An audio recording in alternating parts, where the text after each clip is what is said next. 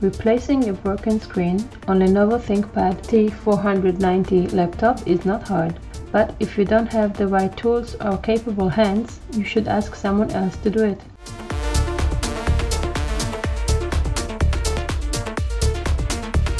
First, use a strong tool to pry open the top side.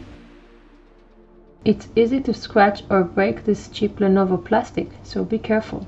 The screen frame is glued in its place, you might need to use the force to remove it.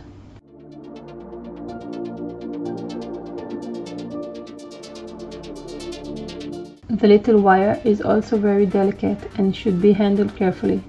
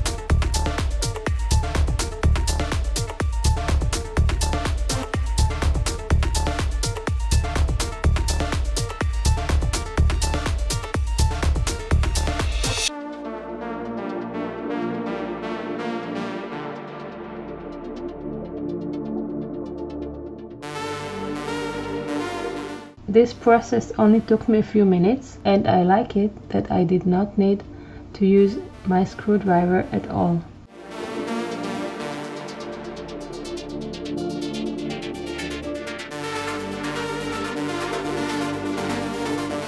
Thanks for watching.